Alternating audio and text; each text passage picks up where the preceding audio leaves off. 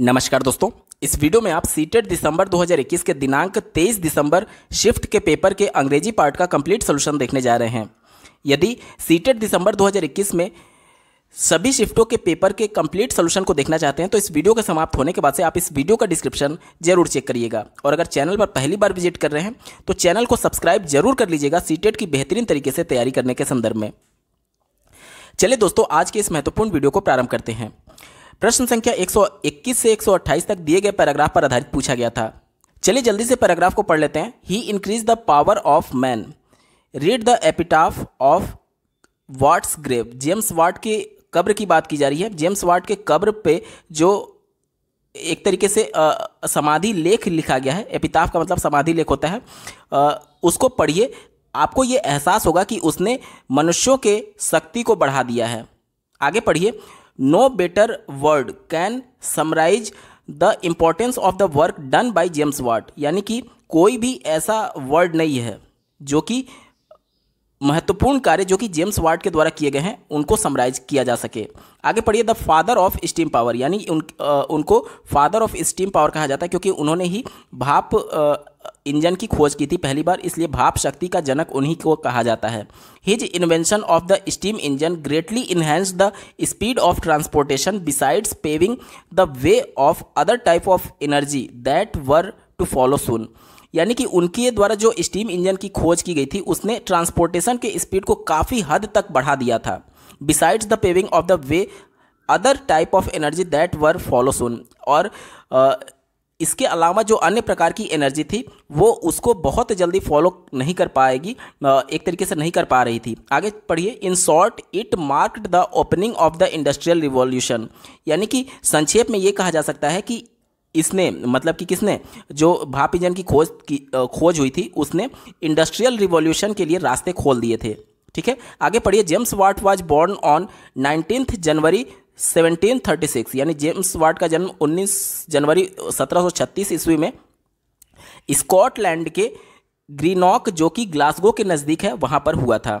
His father was a master craftsman, उनके पिता एक मास्टर क्राफ्ट्समैन थे, and merchant engaged in the shipping trade, और एक शिपिंग ट्रेड में वो इंगेज थे मतलब उस पर भी वो काम करते थे। आगे पढ़िए, young James thus found himself, यानी कि यंग मतलब कि छोटा जो जेम्स वाट था वह फाउंड हिमसेल्फ अपने आप को पाया surrounded by his father's tool right from childhood मतलब कि बिल्कुल बचपन से ही जो यंग जेम्स वॉर्ड थे, उन्होंने अपने आप के चारों तरफ़ जो उनके पिता के टूल्स थे, हथियार थे, औज़ार थे, उनसे घिरा हुआ पाया। आगे पढ़िए he took to them like a fish to water and revealed in constructing this with his own hand he took to them मतलब उसने उन्हें लिया लाइक अ फ़िश मतलब एक मछली की तरह टू वाटर मतलब कि जिस प्रकार मछली बिना वाटर के परेशान हो जाती है छटपटाने लगती है, उसी प्रकार से उन्होंने भी उन सभी औजारों को लिया। एक तरीके से यहाँ पर एक तरीके से अलंकार दिया गया कि जिस प्रकार से मछली छटपटाती है पानी के बिना, वो भी उन औजारों के बिना छटपटा रहे थे, इसका सेंस हुआ, ठीक है? आगे पढ़िए। And revealed in constructing thing things with his own hand his delicate health delicate health means delicate का मतलब होता है नाजुक। Health made his parents reluctant reluctant reluctant का मतलब होता है एक तरीके से संकोच करना, संकोची होना। To send him to a formal school मतलब कि उनका जो नाजुक स्वास्थ्य था, उसकी वजह से उनके माता पिता संकोच कर रहे थे उनको एक फॉर्मल स्कूल में भेजने के लिए, ठीक है? His providing his provided him greater opportunity माफ़ कीजिएगा this provided him greater opportunities for self learning जब उनके माता पिता संकोच कर रहे थे तो वह स्कूल नहीं जा पाए, जिसकी वजह से उनको बेहतर एक अपॉर्चुनिटी मिला सेल्फ लर्निंग के लिए, यानी खुद से सीखने के लिए, ठीक है? आगे पढ़िए हिज स्किल्स एंड इन्वेंटिवनेस यानी कि उनके जो कौशल था और जो खोज करने की प्रवृत्ति थी become evident and at an early age यानी कि उनके शुरुआती वर्षों में ही प्रमाण साबित हुआ उनके स्किल और उनके एक तरीके से खोज करने की प्रवृत्ति के द्वारा, ठीक है? आगे पढ़िए। The story of James Watt observing the lid of kettle being lifted up by steam and inferring the power of steam thereupon is probably apocryphal apocryphal का मतलब होता है एक तरीके से संदेह होने के सेंस में यहाँ पर यूज़ किया गया है। But there is no doubt about his ability लेकिन उनके योग्यता में कोई भी शक नहीं था। आगे पढ़िए since an early age to come up with startling improvement on any machine that he choose to study he was to leave his mark of creativity even of on fields not connected with engineering अब चलिए अब प्रश्नों को हम लोग देखते हैं। पहला प्रश्न दिया गया read the following statement and select the correct option चारों विकल्पों को पढ़िए और कौन सा सही है आपको बताना है। James Watt's influence was confined to the invention of the steam engine यानी कि ये कहा जा रहा है कि जेम्स वाट का जो प्रभाव था केवल स्टीम इंजन भाप इंजन के खोज तक ही सीमित था। ये विकल्प गलत है, क्योंकि उनके द्वारा कई और खोज किए गए थे। आगे पढ़िए James Watt was considered dullard by his neighbours. Dullard का मतलब यहाँ पर इस सेंस में यूज़ किया गया है कि मंद बुद्धि। मतलब कि उनके जो पड़ोसी थे, वो उसे मंद बुद्धि मानते थे। तो इस प्रकार का कोई भी ज़िक्र पैराग्राफ में नहीं किया गया तो हम लोग गलत मान करके चलेंगे। तीसरा देखिए, James Watt's delicate health. Delicate का मतलब यहाँ पर नाजुक हेल्थ की बात की गई है। Proved a blessing in disguise. यानी कि उनका जो एक तरीके से खराब सेहत था, उनके लिए एक तरीके से वरदान साबित हुआ। ठीक है? मतलब उनका खराब सेहत के भेस में ये वरदान था उनके लिए। तो ये विकल्प बिल्कुल पॉजिटिव था। क्यों पॉजिटिव था? क्योंकि खराब सेहत की वजह से उनके माता पिता संकोच करते थे उसको फॉर्मल स्कूल भेजने के लिए। और चूँकि जब वो फॉर्मल स्कूल नहीं जाता था तो जो पिता के जो औज़ार थे, उन्हीं से घिरा रहता था और उन्हीं से खुद से सेल्फ लर्निंग करता था। तो ये पॉजिटिव था पैराग्राफ के अनुसार। चौथा देखिए James watts parent were keen to send him abroad मतलब कि जेम्स वाट के जो माता पिता थे, वो उत्सुक थे चाहते थे कि वो एब्रोड जाए। लेकिन ऐसा कहीं भी नहीं मेंशन नहीं किया गया है। वो फॉर्मल स्कूल तो जा नहीं पा रहा था अब्रॉड कहाँ से जाएगा? तो देखिए, दिए गए विकल्प में देखिए, केवल सी वाला सही है। तो यहाँ पर देखिए ए इज़ ट्रू कहा जा रहा है तो गलत हो जाएगा। दूसरे में देखिए बी ट्रू कहा जा रहा है तो ये भी गलत हो जाएगा। तीसरे में देखिए दोनों को ट्रू कहा जा रहा है, इस वजह से गलत हो जाएगा। चौथा देखिए सी इज़ ट्रू देखिए सी हमारा ट्रू था। और ए इज़ फॉल्स ए हमारा फॉल्स था। तो ऑप्शन नंबर चार इसका बिल्कुल सही उत्तर हो जाएगा। दिए गए पैराग्राफ के अनुसार ऑप्शन चार सही विकल्प है। अगला प्रश्न दिया गया है which of the following option is true पहला स्टेटमेंट देखिए James Watt's invention of the steam engine foreshadows the industrial revolution यानी कि जेम्स वाट के द्वारा स्टीम इंजन जो खोजा गया, वो इंडस्ट्रियल रिवॉल्यूशन यानी औद्योगिक क्रांति के लिए एक तरीके से छाया साबित हुआ। तो ये विकल्प बिल्कुल पॉजिटिव है, ये मेंशन भी किया गया था पैराग्राफ में। तो ऑप्शन नंबर एक, इसका बिल्कुल सही जवाब हो जाएगा। अगला प्रश्न पूछा गया था रीड द फॉलोइंग स्टेटमेंट यहाँ पर दो स्टेटमेंट दिए गए हैं, पहले जल्दी से पढ़ लेते हैं, क्या कहा जा रहा है। James Watt was rewarded for his effort by the state authority यानी ये कहा जा रहा है कि राज्य सरकार के द्वारा उनके खोज के लिए, उनके प्रयास के लिए उनको रिवार्ड दिया गया। तो ऐसा कहीं भी पैराग्राफ में मेंशन नहीं किया गया, इसे गलत मान करके चलेंगे। दूसरा देखिए Watt's father wanted him to become a scientist उनके पिता चाहते थे कि यह एक वैज्ञानिक बने तो इस प्रकार का भी कोई ज़िक्र नहीं किया गया पैराग्राफ में तो ये भी गलत हो जाएगा। देखिए ए और बी दोनों फॉल्स है तो ऑप्शन नंबर चार both A and B are false इसका बिल्कुल सही जवाब हो जाएगा। अगला प्रश्न पूछा गया था select the option which is true according to the passage यानी पैराग्राफ के अनुसार कौन सा ऑप्शन सही आपसे पूछा जा रहा है? पहला देखिए दिया गया है James Watt left his mark of creativity on different fields यानी कि उन्होंने अपने सृजनात्मकता का छाप अलग अलग क्षेत्रों में छोड़ा। तो ये तो बिल्कुल सही है पैराग्राफ के अनुसार। दूसरा देखिए James Watt had the ability to improve the function of any kind of machine यानी कि उनमें ये एबिलिटी थी काबिलियत थी कि वो किसी भी मशीन की आ, के एक तरीके से फ़ंक्शंस को बढ़ा सकते थे। ठीक है? तो ऑप्शन नंबर टू भी इसका सही हो जाएगा। तीसरा देखिए James Watt's parents worried a great deal about his health उनके माता पिता उनके स्वास्थ्य को लेकर के बहुत ज़्यादा चिंतित थे। ये भी बिल्कुल पैराग्राफ में मेंशन किया गया है। चौथा देखिए Watt is considered the father of modern science यानी कि जो जेम्स वाट है, वो मॉडर्न साइंस के जनक माने जाते हैं तो ये गलत है। उनको भाप शक्ति यानी कि एक तरीके से स्टीम पावर का जनक माना जाता है तो ये वाला गलत था। अब देखिए ए बी सी और सही है। ए बी और सी सही है। तो दिए गए विकल्प में देखिए ऑप्शन नंबर चार A B and C are all true इसका सही जवाब हो जाएगा। अगला प्रश्न पूछा गया था which of the following word has the same meaning as the word evident as used in the passage evident का मतलब यहाँ पर प्रत्यक्ष के तौर पर लिया गया है। तो इससे मिलता जुलता आप देखिए ऑप्शन नंबर टू क्लियर हो जाएगा। ऑप्शन टू इसका बिल्कुल सही जवाब है। यहाँ पर पैसेज में देखिए his skills and inventiveness become evident at early stage यानी कि उसके अर्ली एज में शुरुआती वर्षों में ही ये प्रत्यक्ष रूप से, यानी कि साफ़ साफ़ तौर पर दिखने लगा कि उसके कौशल और उसका किस प्रकार से खोज के प्रति रुझान है? तो यहाँ पर देखिए एविडेंट का मतलब प्रत्यक्ष रूप से दिखना या फिर साफ़ साफ़ दिखना, इसी वजह से वहाँ पर क्लियर सही उत्तर हो जाएगा। अगला प्रश्न पूछा गया था which of the following word is the antonym of the delicate as use in the passage given below जो पैसेज में डेलीकेट वर्ड यूज़ किया गया है, जो कि नाजुक के सेंस में आया हुआ था। तो इसका अपोजिट यानी कि विलोम आपसे पूछा जा रहा है तो इसका विलोम हो जाएगा रोबस्ट रोबस्ट का मतलब होता है मज़बूत, ठीक है? तो नाजुक का मज़बूत हो जाएगा। ऑप्शन टू बिल्कुल सही उत्तर है। अगला प्रश्न पूछा गया था which part of speech is the underlined word in the phrase यानी दिए गए फ्रेज में जो अंडरलाइंड शब्द है, ये कौन सा पार्ट ऑफ़ स्पीच है आपसे पूछा जा रहा है? देखिए, यहाँ पर सेंटेंस दिया गया डिसाइजिवली इन्फ्लुएंस इट्स कोर्स यानी कि उसको एक तरीके से निर्णायक रूप से प्रभावित किया। तो निर्णायक रूप से किसकी विशेषता बता रहा है? प्रभावित करने की। मतलब उसको कैसे प्रभावित किया? निर्णायक रूप से। डिसाइजिवली का मतलब निर्णायक रूप से, ठीक है? और किसी को प्रभावित करना प्रभावित करना ये वर्ब है। किसी को आप प्रभावित कर रहे हैं तो ये वर्ब है, ठीक है? तो वर्ब की विशेषता बता रहा है डिसाइजिवली और जो शब्द वर्ब की विशेषता बताता है वो क्या होते हैं? एडवर्ब होते हैं। तो ऑप्शन नंबर चार, इसका बिल्कुल सही उत्तर हो जाएगा। ऑप्शन चार, सही जवाब है। अगला प्रश्न पूछा गया था which part of the sentence given below contains an error यहाँ पर देखिए she found it difficult to cope up with the volume of work assigned to her तो यहाँ पर ऑप्शन बी में गलती है। टू कोप अप विथ इसमें गलती है। तो ऑप्शन नंबर यहाँ पर देखिए ऑप्शन तीन, इसमें बी दिया गया है। तो तीसरा विकल्प इसका बिल्कुल सही जवाब है।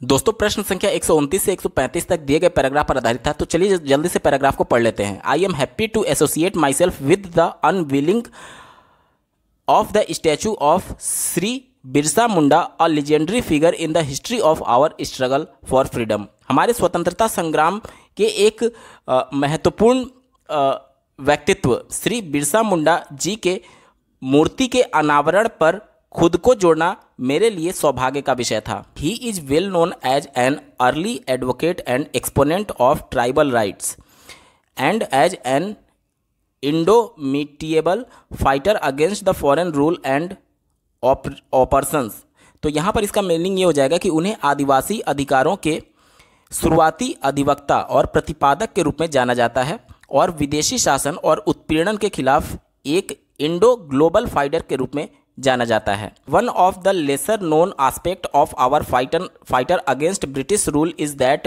tribal uprising constituted an important part of the defiance of the colonial regime यानी कि यहाँ पर बात की जा रही है कि जो आदिवासी विद्रोह का गठन हुआ और औपनिवेशक शासन के महत्वपूर्ण पहलुओं के बारे में ज़्यादा लोगों को नहीं पता है कि इस एस्पेक्ट के बारे में जो उनसे जुड़े हुए हैं। मतलब कि एक तरीके से जो फ्रीडम फाइटर से ये एस्पेक्ट जुड़े हुए हैं, उनके बारे में ज़्यादा लोगों को नहीं पता है। Birsa Munda is an outstanding representative of one such movement in nineteen century in the Chota Nagpur region यानी कि बिरसा मुंडा इनमें से एक महत्वपूर्ण मूवमेंट जो कि नाइनटीन सेंचुरी में छोटा नागपुर रीजन से शुरू किया गया था, उसके एक तरीके से उसके रिप्रेजेंटेटिव थे। आगे पढ़िए।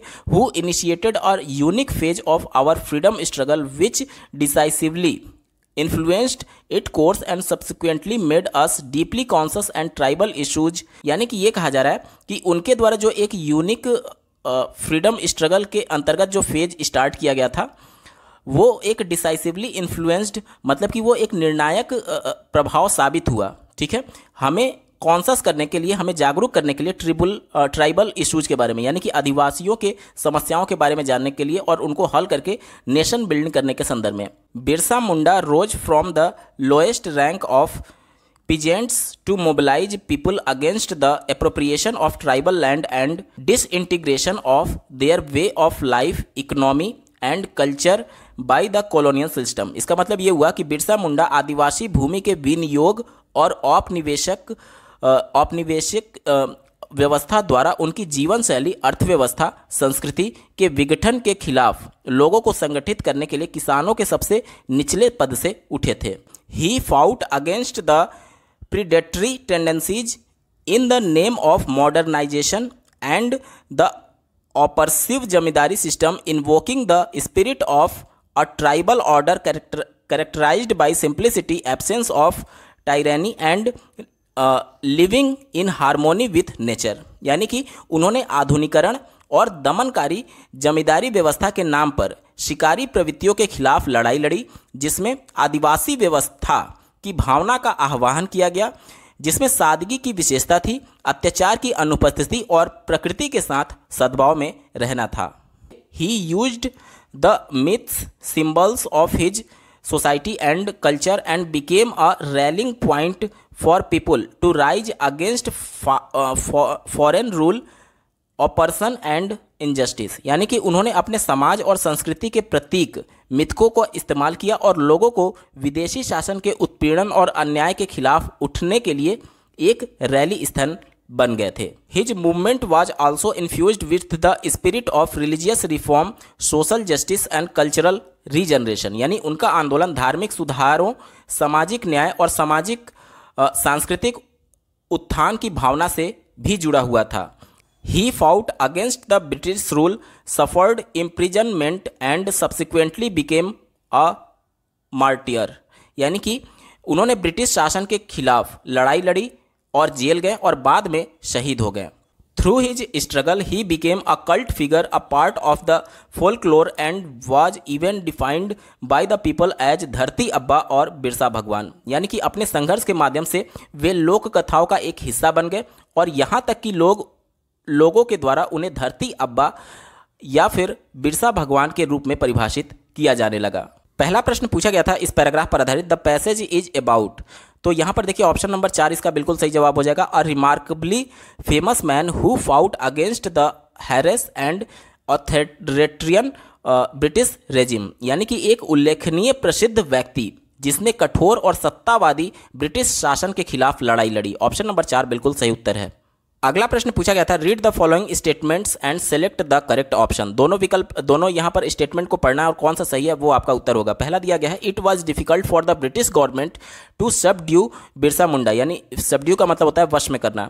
यानी कि ब्रिटिश गवर्नमेंट के लिए बिरसा मुंडा को एक तरीके से वश में करना कठिन था। तो ये विकल्प बिल्कुल सही है इस पैराग्राफ के अनुसार। दूसरा देखिए Birsa Munda wanted to save the tribals from the greedy Britishers Britishers यानी कि जो बिरसा मुंडा जी थे, वो चाहते थे कि जो ट्राइबल्स हैं, यानी जो आदिवासी हैं, उनको लालची ब्रिटिशर्स से बचाया जाए। तो ऑप्शन बी भी इसका बिल्कुल सही हो जाएगा, यानी दोनों सही है। तो ऑप्शन नंबर चार देखिए both A and B are true option चार इसका बिल्कुल सही उत्तर है। अगला प्रश्न पूछा गया था the author present Birsa Munda as यानी कि जो लेखक है, उसने बिरसा मुंडा को किस प्रकार से प्रेजेंट किया है? तो एक देशभक्त के रूप में अ पैट्रियट इसका बिल्कुल सही जवाब हो जाएगा।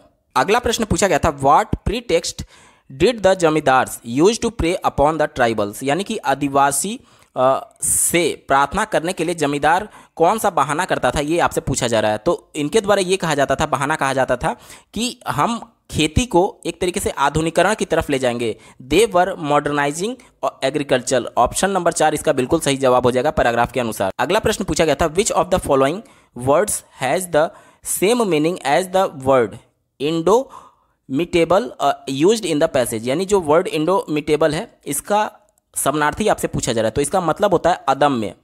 देखिए, अदम्य तो इसका जो समनार्थी हो जाएगा, इससे मिलता जुलता जो शब्द होगा, वो ब्रेव होगा। आपने सुना होगा शक्तिमान जब आता था बचपन में अद्भुत अदम्य साहस की, यानी अदम्य किस सेंस में आया है? बहादुरी के सेंस में आया है तो ऑप्शन नंबर चार ब्रेव इसका बिल्कुल सही जवाब है। अगला प्रश्न पूछा गया था which of the following word is the antonym of the word foreign used in the para three foreign मतलब यहाँ पर एक तरीके से विदेशी के सेंस में आया हुआ है, और नेटिव मतलब कि स्थानीय होता है। जैसे नेटिव लैंग्वेज आप लोग बोलते हैं, मातृभाषा, स्थानीय भाषा, ठीक है? तो ऑप्शन नंबर चार नेटिव इसका सही जवाब है।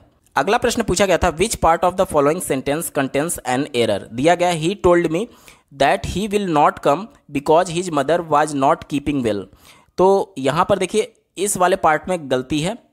ऑप्शन नंबर बी जो होगा, देखिए, दूसरे वाला विकल्प जो है, ये बिल्कुल सही जवाब हो जाएगा। अगला प्रश्न पूछा गया था which one of the following is not true यानी दिए गए चारों विकल्पों में से कौन सा सत्य नहीं है? आपसे पूछा जा रहा है। पहला दिया गया है language skill are transferable from one language to another ये बिल्कुल सही बात है। लैंग्वेज का जो स्किल होता है, भाषा का जो कौशल होता है, वो एक लैंग्वेज से दूसरे लैंग्वेज में ट्रांसफ़र होता है। कैसे? इसको समझिए। जैसे कि देखिए लैंग्वेज स्किल में क्या क्या आते हैं? सुनना, बोलना, पढ़ना और लिखना। तो आप अगर किसी एक लैंग्वेज में सुनना और बोलना सीख गए हैं तो वो स्किल आप दूसरे लैंग्वेज में भी यूज़ कर सकते हैं। साथ ही साथ, जैसे हिंदी लैंग्वेज की अगर बात करें तो इसमें भी करता होता है। कर्म होता है, इसके अलावा क्रिया होती है। और अगर कोई अन्य लैंग्वेज सीख रहे हैं तो उसमें भी कर्ता क्रिया कर्म होगी ही होगी। यानी एक लैंग्वेज का स्किल जो आपने सीख लिया है, वो दूसरे लैंग्वेज में भी ट्रांसफ़र होता है। तो पहला विकल्प पॉजिटिव था। इस वजह से आपका उत्तर नहीं होगा, क्योंकि आपसे निगेटिव सेंस नॉट ट्रू वाला पूछा गया है, ठीक है?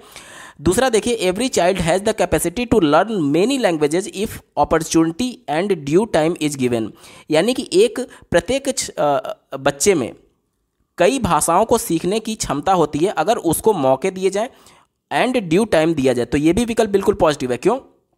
अब यहाँ पर अपॉर्चुनिटी का मतलब ये हो गया कि उसको नेचुरल वातावरण दे दिया जाए। देखिए बच्चे को हिंदी लैंग्वेज सिखाने के लिए या फिर उसकी मातृभाषा सिखाने के लिए कोई अतिरिक्त प्रयास नहीं करना पड़ा था। केवल उसको अपॉर्चुनिटी दी गई, उसको उस प्रकार का वातावरण दिया गया।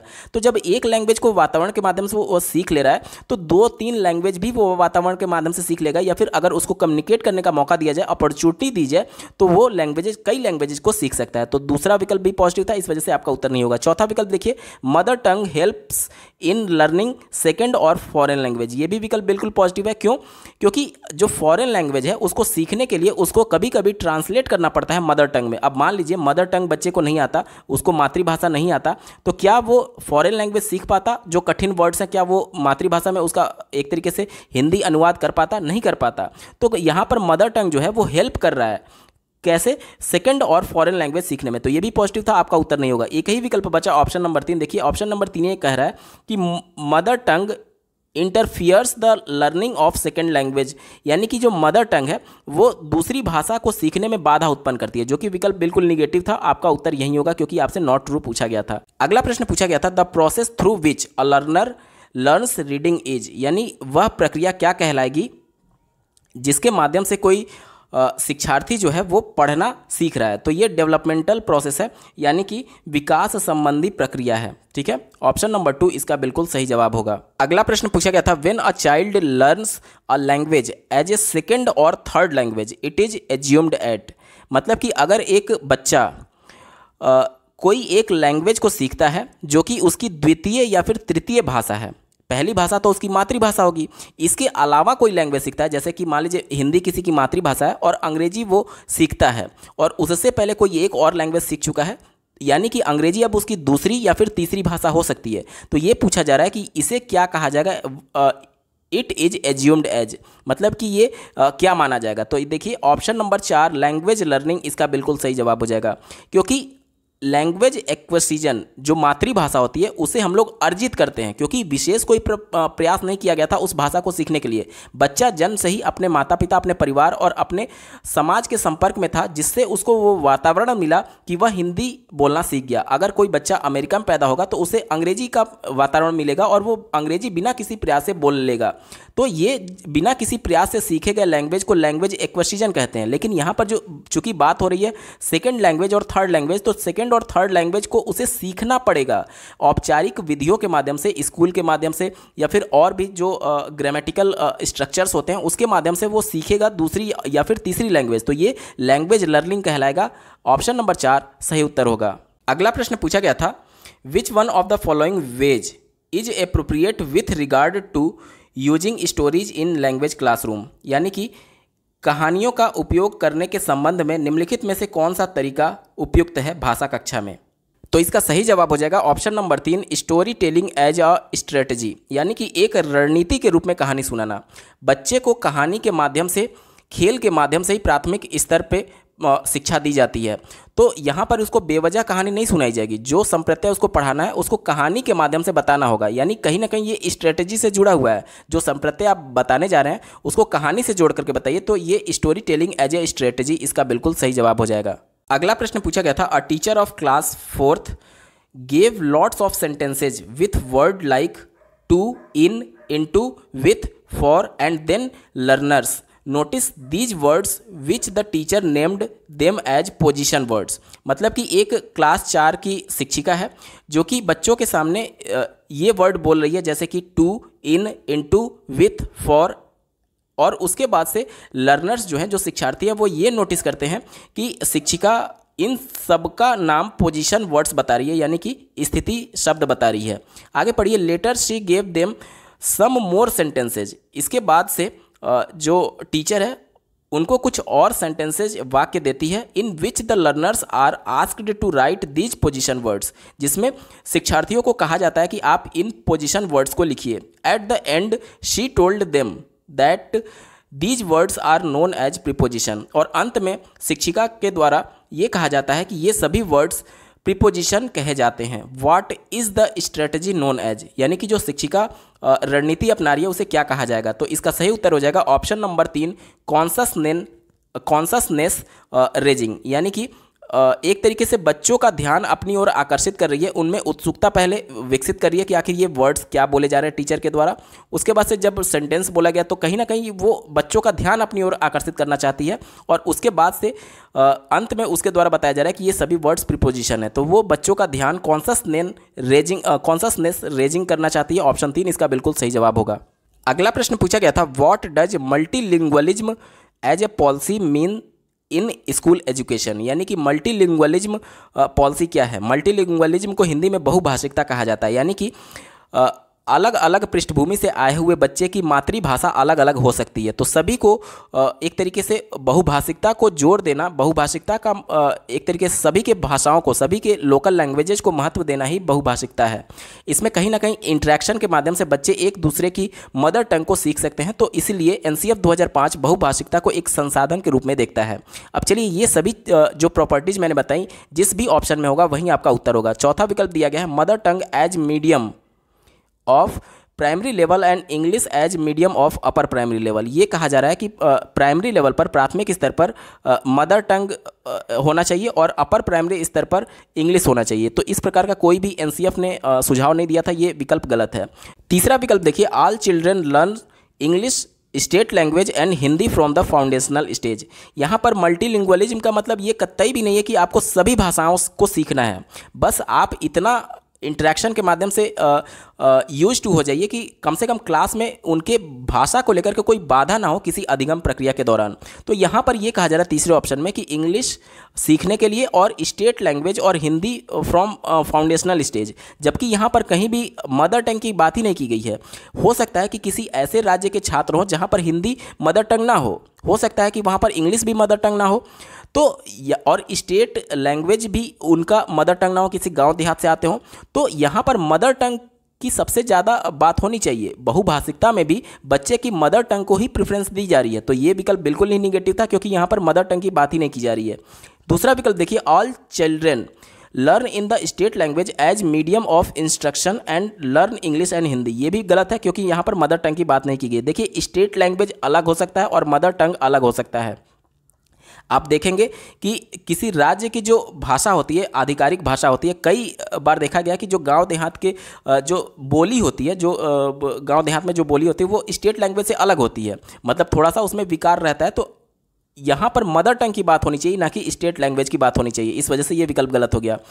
पहला विकल्प ही बचा, यही आपका सटीक उत्तर होगा। देखिए क्या कहा जा रहा है all children begin their schooling in their mother tongue ये बात बिल्कुल यही मैं बात कह रहा था कि मदर टंग की बात होनी चाहिए कि सभी बच्चे अपनी जो स्कूलिंग है, वह मदर टंग से शुरू करते हैं।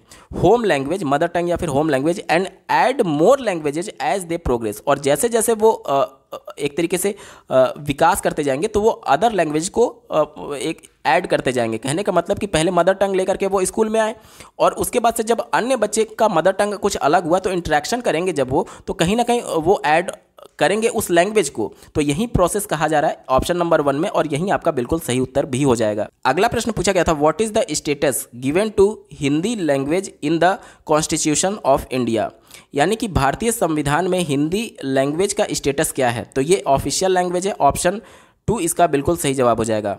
अगला प्रश्न पूछा गया था errors of the learners during the early year यानी कि शुरुआती वर्षों में बच्चों के द्वारा जो गलती की जाती है उसको किस सेंस में कहा जा सकता है, आपसे पूछा जा रहा है। पहला देखिए, दिया गया है should be corrected then and there मतलब कि जैसे ही वो गलती करते हैं बच्चे, तुरंत उसको सही कर देना चाहिए। ये विकल्प निगेटिव है। क्यों निगेटिव है? क्योंकि अगर आप केवल सही कर देंगे और बच्चे को नहीं बताएँगे कि गलती क्यों हुई है या फिर आ, उस कॉन्सेप्ट हो सकता है कि बच्चा कॉन्सेप्ट को समझा ही ना हो और उसके वजह से गलती हुई है और आप सिर्फ़ उसे करेक्ट कर रहे हैं। यानी कि वो गलती भविष्य में भी दोहराने की संभावना रहेगी जब तक कि उसका डाउट क्लियर नहीं होगा। तो पहला विकल्प निगेटिव था आपका उत्तर नहीं होगा। दूसरा देखिए should not be corrected at all ये तो बिल्कुल ही निगेटिव है। मतलब कि बच्चा गलती किए जा रहा है आप उसको करेक्ट नहीं कर रहे हैं। ये ऐसे सेंस में दे रहा है, इस वजह से नेगेटिव था, आपका उत्तर नहीं होगा। चौथा, देखिए should be corrected through imposition and drill imposition का मतलब होता है आरोपण। मतलब कि बच्चे पर आप आरोप लगाइए कि तुमने गलती की है एंड ड्रिल्स उसके बाद से अभ्यास के माध्यम से उसको सही कराइए। तो ये थोड़ा निगेटिव सेंस दे रहा है। देखिए, बच्चे, बच्चा कोई चोरी नहीं किया कि आप उसको आरोपण लगाएँगे, आरोप लगाएँगे। तो इस प्रकार के सेंस हमेशा निगेटिव होते हैं एनसीएफ 2005 के दिए गए गाइडलाइंस के अनुसार। तो ये कभी भी आपका उत्तर नहीं होगा, ठीक है? और एक ही विकल्प बचा ऑप्शन नंबर तीन should be brought to their notice through practice यानी कि उनके संज्ञान में लाएँगे। नोटिस का मतलब संज्ञान। अब देखिए, यहाँ पर संज्ञान वर्ड बहुत इंपॉर्टेंट है। क्योंकि संज्ञान में लाने का मतलब जीन पिया जी ये कहते हैं कि बच्चे के संज्ञानात्मक विकास के सिद्धांत में कि बच्चे अपने ज्ञान का रचना स्वयं कर रहे हैं। और चूँकि आपने उनके संज्ञान में ला दिया तो चूँकि अब उनको पता चल गया कि मैंने ये गलती की है तो अब वो नए तरीके से अपने ज्ञान की रचना करेगा। तो कहीं ना कहीं ये चीज़ें उसके लिए फेवरेबल हैं कि अब भविष्य में ये गलती करने की संभावना कम रहेगी, क्योंकि बच्चा खुद के अनुभव से सीखा है और खुद के अनुभव से गलती को सुधार किया है। और उसके बाद से जब वो प्रैक्टिस करेगा तो निश्चित तौर पर उसका जो एक तरीके से गलती कर रहा था, वो गलती अब दूर हो जाएगा। तो ऑप्शन नंबर तीन, इसका बिल्कुल सटीक उत्तर होगा। अगला प्रश्न पूछा गया था a teacher of class fifth ask the students to discuss in group about why, what they like and what they do not like, and then to note down ideas to write in few sentences यानी कि एक शिक्षिका है कक्षा पाँच की, उसने छात्रों को एक ग्रुप में डिस्कशन करने के लिए बोला और उसके बाद से जो टॉपिक था कि आप क्या पसंद करते हैं और क्या पसंद नहीं करते हैं, उसके बाद से उन्होंने इस आइडियाज़ को कुछ सेंटेंसेस में लिखने के लिए कहा। उसके बाद से कहा जा रहा है students noted down their ideas छात्रों के द्वारा उनके आइडिया लिखे गए। डेवलप्ड एंड आउटलाइन एक आउटलाइन विकसित किया गया एंड रोट अ पैराग्राफ और एक पैराग्राफ लिखिए। ये टीचर के द्वारा बोला गया, ठीक है? और what would you call this approach to writing यानी कि इस राइटिंग के अप्रोच को आप क्या कहेंगे? तो ये प्रोसेस अप्रोच टू राइटिंग है। यानी कि प्रोसेस के तहत बच्चे राइट कर रहे हैं। जैसे कि पहले उनके द्वारा डिस्कशन किया गया था ग्रुप में। डिस्कशन करने के बाद से वो एक तरीके से उनका आइडिया जो था, वो उनका डेवलप हुआ। उसके बाद से वो जो डेवलप्ड आइडिया है, उसको वो राइट डाउन कर रहे हैं। तो ये प्रोसेस अप्रोच टू राइटिंग है। ऑप्शन नंबर टू इसका बिल्कुल सही जवाब होगा। अगला प्रश्न पूछा गया था। A teacher collects the instances instances का मतलब होता है उदाहरण।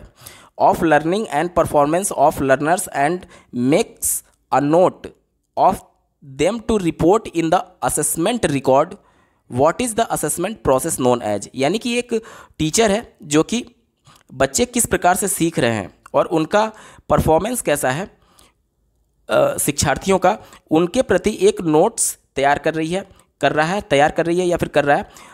उनके असेसमेंट रिकॉर्ड को तैयार करने के संदर्भ में तो ये पूछा जा रहा है कि what is this assessment process known as यानी कि ये असेसमेंट का प्रोसेस क्या कहलाएगा? ये रिकॉर्ड क्या कहलाएगा? तो ये पोर्टफोलियो असेसमेंट कहलाएगा, क्योंकि बच्चे के शैक्षिक जो प्रगति होती है, उसको पोर्टफोलियो में ही मेंटेन किया जाता है। ऑप्शन एक, इसका बिल्कुल सही जवाब हो जाएगा। अगला प्रश्न पूछा गया था which of the following methods of language teaching is learning outcome focused यानी कि भाषा शिक्षण की निम्नलिखित में से कौन सी विधि सीखने के परिणामों पर केंद्रित है? तो ये है कॉम्पिटेंसी बेस्ड लैंग्वेज टीचिंग यानी कि योग्यता आधारित भाषा शिक्षण। ऑप्शन नंबर टू इसका बिल्कुल सही जवाब हो जाएगा। अगला प्रश्न पूछा गया था a teacher brought utensils utensils का मतलब ये होता है बर्तन, ठीक है? एंड ट्वाइज यानी कि खिलौने from home to teach vocabulary in contextual use यानी कि एक शिक्षक घर से बर्तन और खिलौने लेकर के आता है। यानी वोकेबलरी सिखाने के संदर्भ में और उन बर्तन और खिलौनों के संदर्भ में।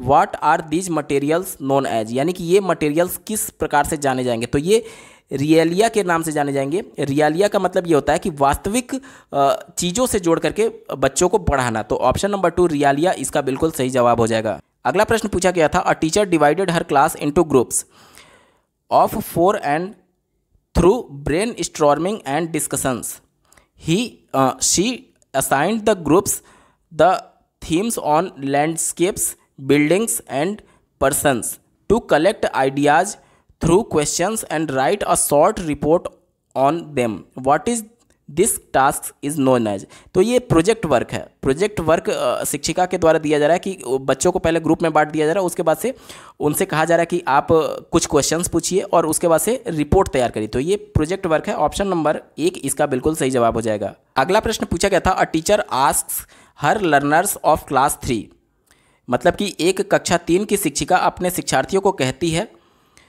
to share in their group about the flowers मतलब अपने ग्रुप में फ्लावर्स के बारे में चर्चा कीजिए। ग्रास, घास के बारे में और प्लांट इन देयर नाइबोरहुड। आप अपने पड़ोसों में जो आपके पड़ोस में ये सब चीज़ें हैं, उनके बारे में चर्चा कीजिए and on their way to school और घर से स्कूल आते समय इन सभी चीज़ों को देखिए। To before teaching the poem एक पोयम है डेफो डेफोडिल्स के नाम से। इस पोयम को पढ़ाने से पहले ये गतिविधि करने के लिए उन उनको शिक्षिका के द्वारा कहा गया है। तो what is she trying to do यानी कि वह शिक्षिका क्या करना चाह रही है? तो इसका सही जवाब हो जाएगा ऑप्शन नंबर टू देखिए कनेक्टिंग द प्रीवियस नॉलेज यानी बच्चों का जो परिवेश से नॉलेज आया हुआ है, बच्चे अपने आस पड़ोस में ग्रास यानी कि घास, फूल और प्लांट्स के बारे में जानते हैं। तो उनके प्रीवियस नॉलेज पूर्व ज्ञान को क्लासरूम टीचिंग एंड नॉलेज से जोड़ने के लिए ये किया जा रहा है। यानी कि connecting the previous knowledge with the classroom teaching knowledge option number two इसका बिल्कुल सही जवाब हो जाएगा। दोस्तों, हम लोग पेपर के बिल्कुल अंतिम पड़ाव में आ चुके हैं। अभी तक का ये वीडियो आपको कैसा लगा कमेंट के माध्यम से ज़रूर बताइएगा, क्योंकि आपका एक कमेंट मुझे मोटिवेट करेगा ऐसे ही महत्वपूर्ण वीडियो लाने के संदर्भ में।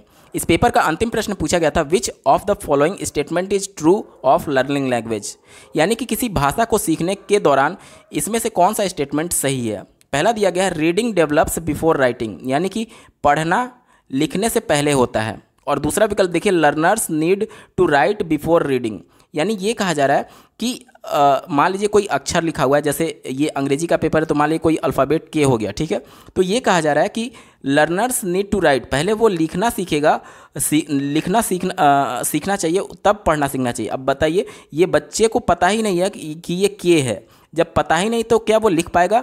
मतलब कि कहीं ना कहीं वो पहले जानता होगा कि ये के है, तभी तो पढ़ेगा और जब पढ़ेगा तो समझेगा और समझेगा तो फिर कापी में लिख पाएगा। यानी कि दोनों प्रक्रिया एक दूसरे से इंटरकनेक्टेड है, कोई भी प्रक्रिया पहले या फिर बाद में नहीं होगी। तो पहला और दूसरा दोनों विकल्प गलत हो गया। चौथा देखिए first language interferes in the learning of second language यानी कि ये कहा जा रहा है, पहली भाषा जो है, वो दूसरी भाषा को सीखने में प्रभावित करती है और निगेटिव सेंस में कहा जा रहा है, जो कि विकल्प गलत है। इससे पहले वाले प्रश्न हमने इसके बारे में डिस्कस कर लिया है। एक ही विकल्प बचा ऑप्शन नंबर तीन, देखिए, यही आपका सही उत्तर हो जाएगा। Reading and writing developed develop concurrently यानी दोनों जो कौशल है रीडिंग और राइटिंग एक साथ विकसित होता है। कहने का मतलब कि, देखिए, भाषा के चार कौशल बताए गए हैं। Reading writing listening and speaking तो एक चारों का एक क्रम ज़रूर है लेकिन चारों इंटरकनेक्टेड हैं चारों अंत क्रिया के माध्यम से ही सीखे जा सकते हैं मतलब सभी एक दूसरे के साथ एक साथ मिले जुले तरीके से सीखे जा सकते हैं। ऐसा नहीं है कि पहले आप केवल आ, सुनना सीखेंगे, उसके बाद बोलना सीखेंगे, उसके बाद पढ़ना सीखेंगे और अंत में लिखना सीखेंगे। सभी प्रक्रिया एक साथ चलती रहती है। अगर ऐसा होता कि इसी क्रम में सीखना होता तो बच्चे जब प्राइमरी स्कूल में जाते तो उनको एक दो साल केवल सुनना बताया जाता, लिखना नहीं बताया जाता, पढ़ना नहीं बताया जाता, लेकिन वो सभी चीज़ें एक साथ की जाती हैं। तो ये क्रम ज़रूर है। लेकिन सभी एक दूसरे से इंटरकनेक्टेड है, एक साथ ही चलते हैं। तो ऑप्शन नंबर तीन इसका बिल्कुल सही जवाब हो जाएगा। दोस्तों, यहाँ पर पूरा पेपर सॉल्व हो चुका है। आपको ये वीडियो कैसा लगा कमेंट के माध्यम से ज़रूर बताइएगा। साथ ही सीटेड दिसंबर 2021 के सभी शिफ्टों के पेपर का कंप्लीट सोल्यूशन देखने के लिए इस वीडियो का डिस्क्रिप्शन ज़रूर चेक करिएगा। और अगर चैनल पर नए हैं तो सब्सक्राइब ज़रूर कर लीजिएगा सीटेड की बेहतरीन तरीके से तैयारी करने के संदर्भ में। इस वीडियो को देखने के लिए आपका बहुत बहुत धन्यवाद। भगवान करे आपका दिन शुभ हो।